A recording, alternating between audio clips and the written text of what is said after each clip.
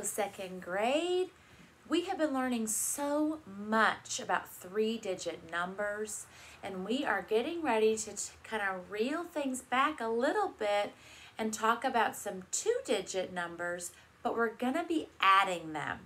So even though our numbers are getting smaller, our challenge is going up this week. Let's go ahead and get started with our learning target and see where we're going to go from here. I can add tens to any number. Let me show you these numbers right here. What do we already know about these numbers? They're counting by tens. Can we do that? Can you guys do that with me? 10, 20, 30, 40, 50, 60, 70, 80, 90. Yes, when we count by tens, we say those numbers. What else do we know about those numbers?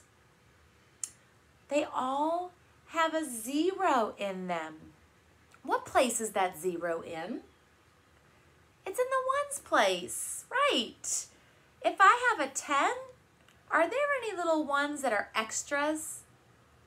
No, there's not. If I have two tens, how much do I have? 20. Do I have any of these little guys around? No, they're stuck together in this stick of 10, aren't they?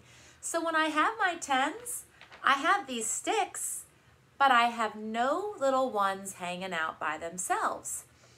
110 is one of these. 20, two of these. 30, three of these, okay? And so on. Kind of like we were thinking about our hundreds yet the other day. Absolutely. Anything else we know about these numbers? They're in that last column of that 100s grid, aren't they? Yes, we saw those just the other day when we were starting off our new learning last week. So when we think about those numbers, the 10, the 20, the 30, the 40, the 50, 60, 70, 80, and 90, they have a number in the tens place, zero in the ones place. Let's hold on to that understanding today as we solve some of these problems, okay? So we are, are adding tens to any number, and you might be using a model, you might be using equations. Think about what you need to do to solve this problem, okay? And then we're gonna look for patterns as we solve this to make see if it's any makes it any easier to solve. Our first problem goes like this. Jordan has 13 toy cars and 10 toy trucks. How many toys does Jordan have? Hmm, what do we already know? He has 13 toy cars. What else do we already know? He has 10 toy trucks. How many toys does Jordan have? Hmm, can I have you all write an equation that would match this story? And put a thumb in front of your tummy when you have that equation written or that number sentence. What did we write? 13 plus 10 equals blank. I see a lot of wiggle waggles. Absolutely, guys. I'm seeing a lot of agreement. Yes. So when you guys say you, you, you agree, why do you agree? Where do these numbers come from? His 13 toy cars. His 10 toy trucks. And what does this box represent? How many toys he has all together. So I want you to think about how you might go about solving this problem. So remember, maybe you have your tens and your ones at your seat or you're using a computer to do that because you can move those around on the computer. Maybe you're writing a number line. Maybe you're writing equations. Use what you know to help you solve this problem, and then we're going to share that thinking. At home, if you need to pause this at any time, please feel free. What did you use to help you solve this? And what represents the tens? Where's the 13? How many ones are in 13? What did you add together first? Ooh. What digit changed? Did your ones digit change or your tens digit when you added those two numbers together? Ooh. Wait, this picture cut looks like something we've seen before. How did you use your 100 grid to help you solve that? Oh, we do know that from the beginning of the year, don't we? All right, let's come together, friends, and see what we know. We're going to start over here with our models. Mm, how did you use your base 10 models? And remember, friends, when we talk about base 10, we're meaning our, our 10s and our 1s, right? We drew a lot of those last week when we were building our three-digit numbers. And so we can use those today when we're adding these numbers together. What did you draw first? You drew a 10. Okay, and then what did you draw? Three ones. And what number did that represent? Your 13. So you had your 110 and your three ones. Then what did you do? You drew another 10. Okay, and where did that 10 rep what does that 10 represent? The 10 toy trucks. What did you do next after you had this model? And why did you why did you circle those up? Because those were both tens. Okay, and then you had your three ones. So now you have two tens and three ones. And how did that help you solve that? You know that two tens equals 20, three ones equals three, and so what number is that all together? 23. So then what's going to go up here? Oh, I'm seeing more agreement as far as getting that correct answer. If you use your base 10 blocks, give me a little hand, a little wave. Those base 10 blocks are a great tool to use, aren't they? Oh, absolutely. You know, I, we have some other models to show, but I love seeing those come out, and we're going to be using those throughout this week. So keep those keep those in, in your toolbox. Keep them easy to access because they're going to be helpful as we solve some more challenging problems. Let's think about and share some other ways that we could solve this problem that don't involve our base 10 blocks. Oh my goodness. And what was your way? You know, you had a picture in your from your 120 grid that we've used. And when you looked at your 120 grid, your 13 was up here. And you know that adding, to, you go 10 down to add 10 on your number, or 10 on your 120 grid. And what number did you land on when you went down on that 120 grid? 23. Why does that work on our 100 and our 120 grid? because we talked last week, you're right. Each row has 10 in there. So when you're in this row, going straight down is 10 more. And what place changed when you added 10 more? Your tens place. Why do you think your ones place didn't change? Because there's a zero in the ones place. Hmm. Some other friends were sharing some other strategies. In fact, using that same knowledge and that same information, drawing that number line. Can you tell me what you did when you drew your number line? You started at 13, okay, and then what did you do? You just made a big jump to 10. And then how do you know where you landed? you landed at 23. But how do you know that that was where you were going to land? Because there's a 110 and 13, 110 and 10. And if you know that 1 plus 1 is 2, then you know 10 plus 10 is 20. And then you have your 3 plus your 0 equals 3. Very interesting. So if we were going to write that in equations, what would that look like?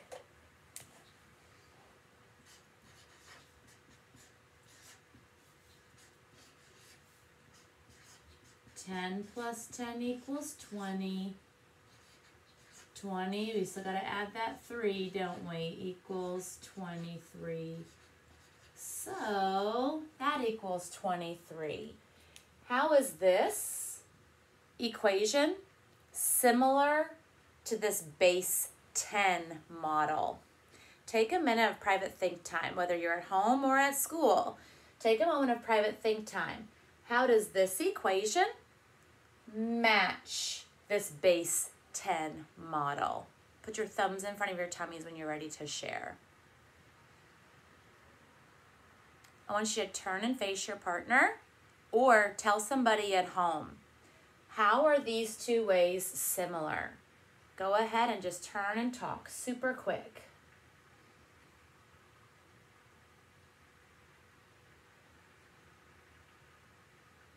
And coming together, always feel free that you feel free to pause. Five, four, three, two, one, and time. How are these two ways similar? What did you hear?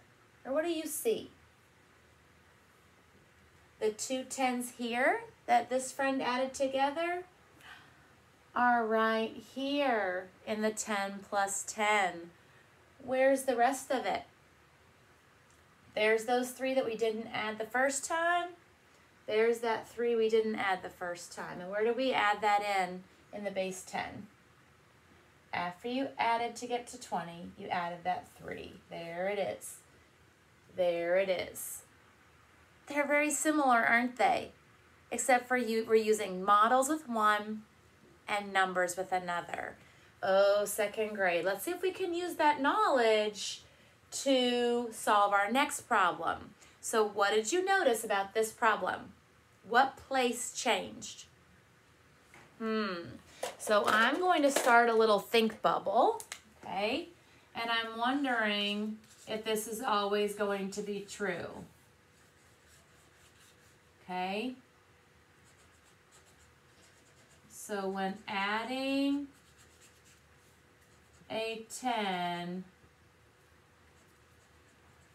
the tens place changes. We noticed that this time. Will that still be true next time? I don't know if it's always true. And we can't really prove that until we see it over and over and over again, right? So we want to make sure that we're looking for that each and every time. If we don't see it every time, is it true? No. Okay, so we're really asking ourselves, is this always true? Let's take a peek. Launch number two. Are you ready? There are 50 blue balloons and 16 red balloons in the park. How many balloons are there in the park? 50 blue balloons, 16 red balloons. How many balloons are there? What do we already know? Hmm, what do we already know, my loves? There are 50 blue balloons. What else do we already know? 16 red balloons. And friends, you can always write these numbers down or underline them if you see them in writing to help you think through this work. What are we trying to find out? How many balloons are there? Total, the sum. What would our equation be?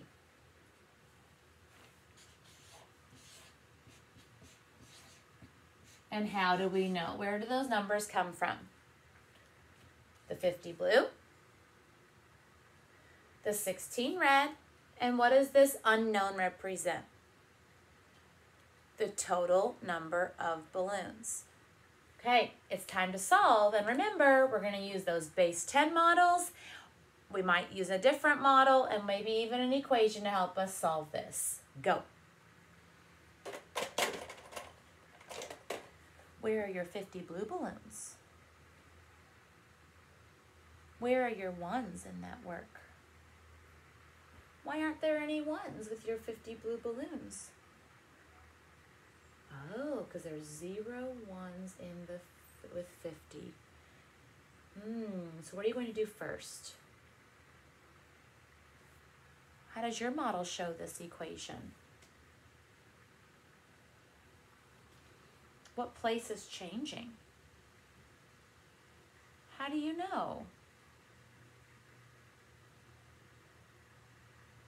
Where did you, where's your where is this part where is this part of your equation in your model? Mm, coming together, friends, in five, four, three, two, one, and done. Again, as always, remember you can pause if you're not quite ready. Let's take a minute and we're gonna see what that num with, with what our model looks like when we're using those base tens first. So where are we starting? I had a friend over here that was just telling me how they were starting. What did you draw first? 10, 20, 30, 40, 50. And why did you draw five tens? Because there's 50 blue balloons. So 10, 20, 30, 40, 50.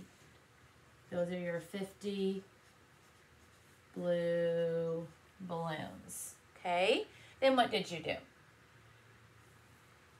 You drew your 16 red. How did you show 16?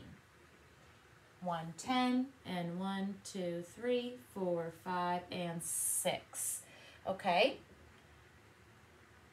The 16 red balloons, all right? And then what did you do next? Why did you group your 10s together? Because it's easier to add your 10s together. So how many 10s did you have? You had six tens, okay? And what did you have? How many ones did you have? Six ones. Then what did you do? Six tens is the name is the same as 60.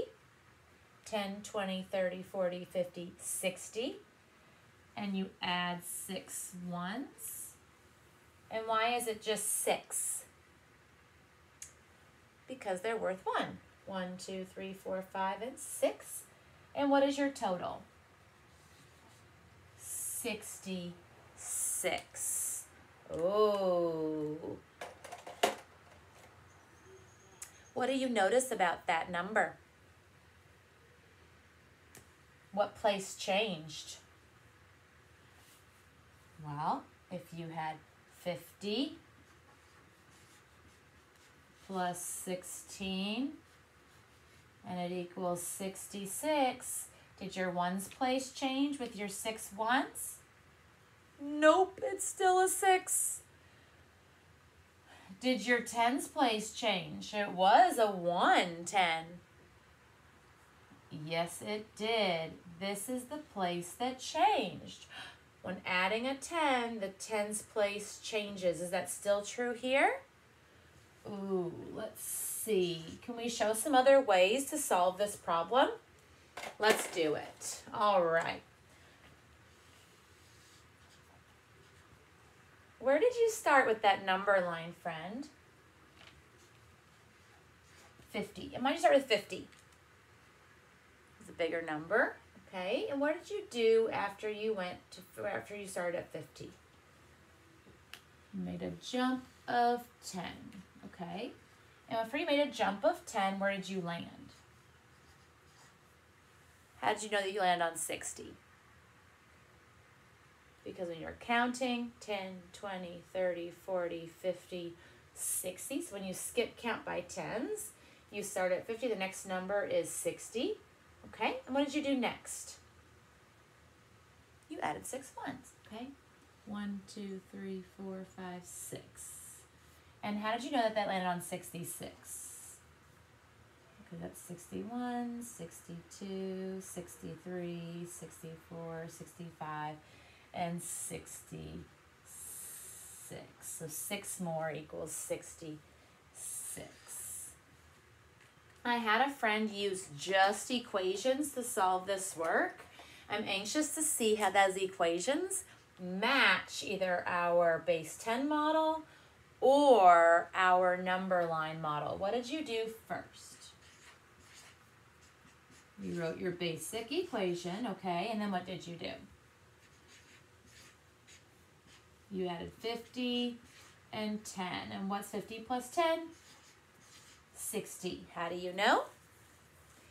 Five tens and one ten is six tens.